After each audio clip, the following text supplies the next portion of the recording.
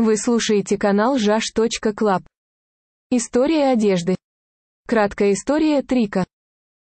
Наверное, каждый слышал слово «трика».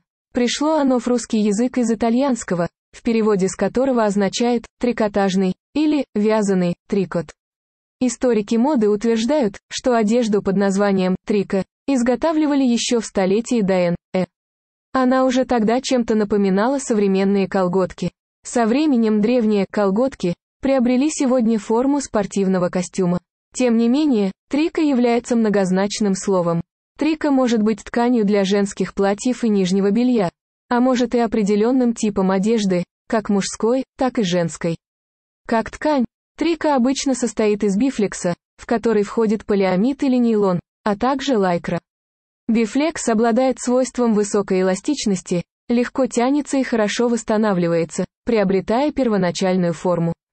В состав ткани входит и вискоза. Если к вискозе производитель добавил полиэстер, то она становится еще более эластичной. Знатоки одежды подразделяют трико на несколько основных видов.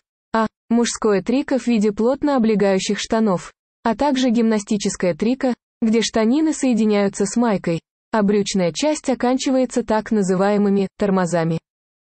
Женское трико в виде плотно облегающих штанов, а также гимнастический купальник с рукавами разной длины или без них.